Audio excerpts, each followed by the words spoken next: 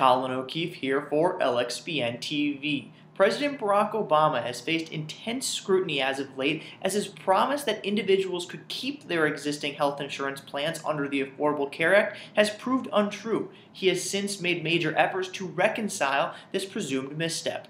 Joining me now to explain exactly what happened, we have Aaron Dettling. He's an attorney with Balch and Bingham in Birmingham and is author on the firm's blog, The ACA Review.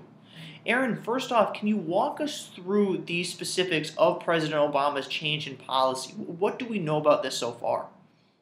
Sure, Colin, thank you. Um, as you and your, your viewers know, uh, most of the more consequential parts of the Affordable Care Act were set to go into effect this January 1st, 2014.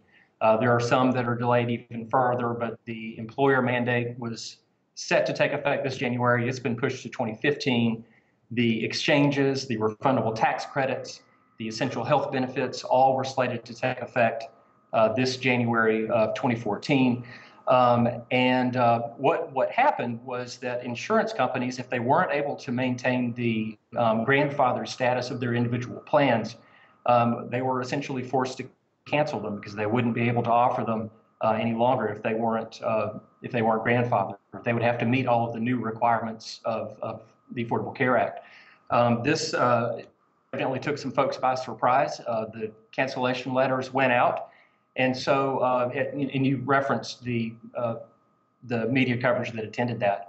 Um, so what the president did and the CMS Centers for Medicare and Medicaid Services did last Thursday was they said that they're going to afford basically you might call it a grace period of at least one additional year where uh, companies and individuals that had these policies in place as of October 1st of this year uh, would be able to renew them even if they don't meet the uh, specific requirements of, of the new law. So uh, they can renew them for at least one year. There are some requirements to go along with that. A notice uh, that they have to give a notice that spells out the exchange availability, uh, the benefits that would be uh, afforded through the exchange, the subsidies that would be available through the exchange that they won't be able to get through through this type of plan.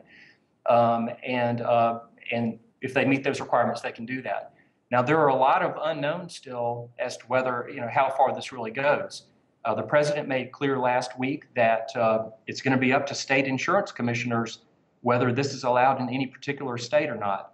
Um, insurance companies too are on a very tight uh, timeline here um, to get their rate filings done and get their plans filed and to get them approved and get people enrolled here within this enrollment period. So there are a lot of things we still don't know, but um, that, that kind of sums up the change that happened last Thursday. Mm-hmm, absolutely. You mentioned that there's a lot of things uh, we just don't know yet, but but what do we know? What has the reaction been? You wrote that the states are are kind of weighing their options here. Sure. Um, you have response from uh, on one side the state insurance commissioners, and then you have uh, the response from the industry, the insurance industry. The responses from the state insurance commissioners, based on our research, research so far, basically falls into four different camps. Uh, you have uh, states like my home state of Alabama, where uh, as we stand today, the insurance commissioners are just saying, we've we saw the press conference, we see the letter, we're examining uh, exactly what it means and, and checking our options.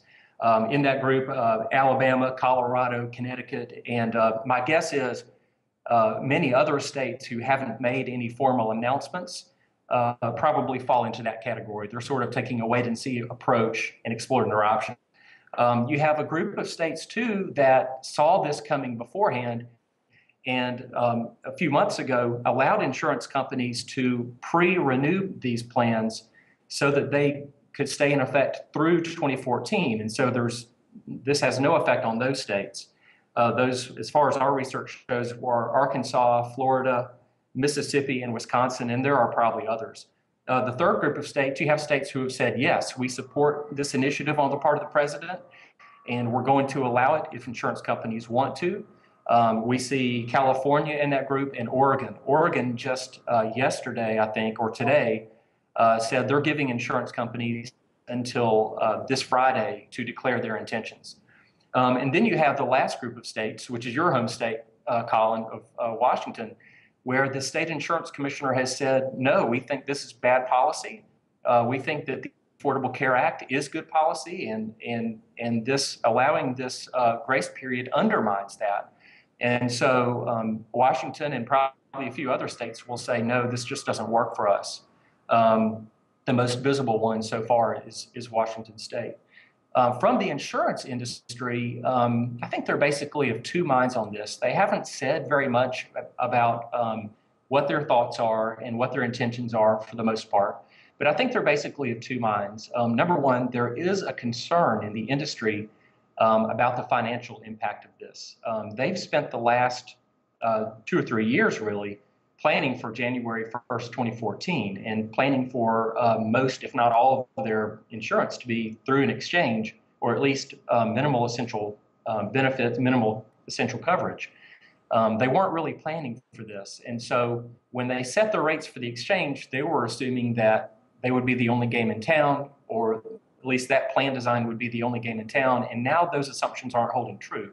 So I think there's a lot of concern if they do uh, take the president up on this grace period, what is the effect going to be um, on uh, on them financially? They could take serious losses on the exchange plans if they don't have the influx of customers they thought they were going to have. On the other hand, I do think that insurance companies do, if, if their states allow them, they are going to want to do right by their customers to the extent that they can. And so I think they are looking really hard at what's possible and what's doable. And uh, if they can, I think you'll see some offerings, um, at least in the states that are going to allow it.